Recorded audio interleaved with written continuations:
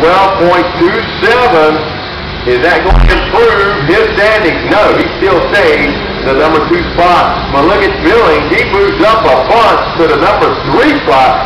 See the number change? Billings just got in. The bump is now 13.08 as they watch it heading down the racetrack. Trey Martin sees far. Right lane car, the new entry. Let's see if he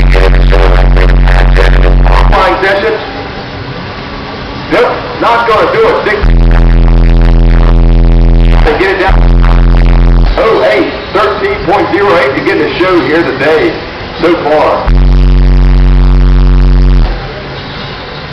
Left lane car is not on file. He is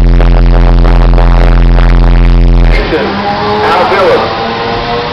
Out of Richmond. Third, goes a 13.244. He is just now got bumped out.